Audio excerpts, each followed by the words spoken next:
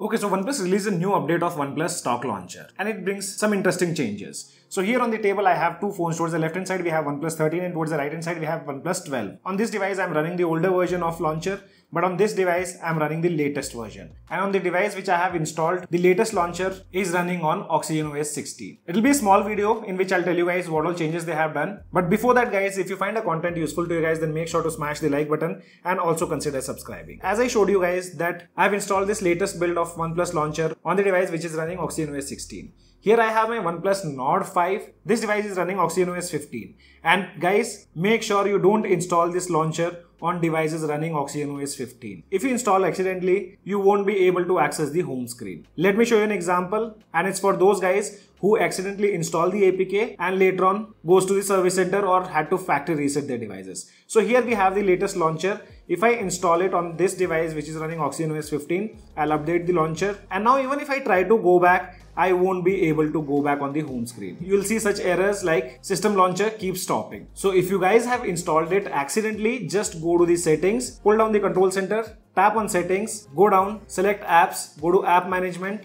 and from here search for launcher. Once you see system launcher, tap on it and tapping on these three dots uninstall update. Once you uninstall the updates, you'll be again able to access the home screen. And there you can see. So as of now, do not install it on your devices running Oxygen OS 15. First of all, let me show you the app version change. There's not a major upgrade in the app version, but a minor one. So here you can see the difference in the launcher version. On this device we are running, the older version is 16.3.12 and the newer version is 16.3.22. You guys can find the APK in the description below just download it from there and update your launcher. Now let's talk about the change what they have done. Basically now we have the support of third party applications in this stacked widget. Previously which wasn't the case. Let me show you an example on this device. So here you can see we have multiple widgets which are in 2 into 2 shape or you can say size. If I drag and drop on the other widgets the third party widgets doesn't stack. But if you have a stock widget from OnePlus so for example, I'll select battery widget now I'll add it on the home screen. And now if I drop it on this widget, you can see now we have stack widget. But that's not the case anymore on the latest launcher,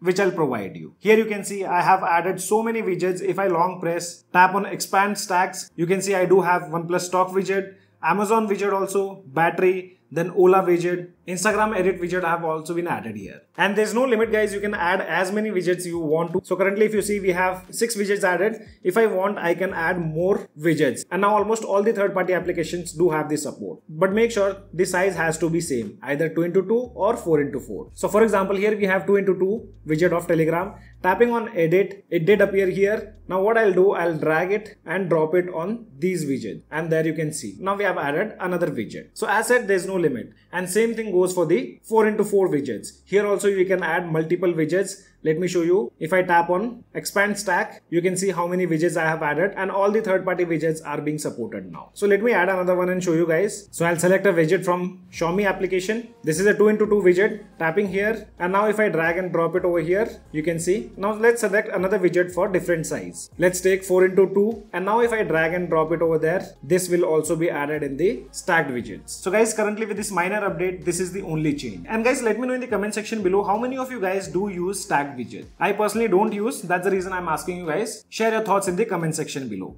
And meanwhile, if you guys have any kind of questions, let me know in the comment section below. This is your friend Ashok signing out. See you guys in the next video.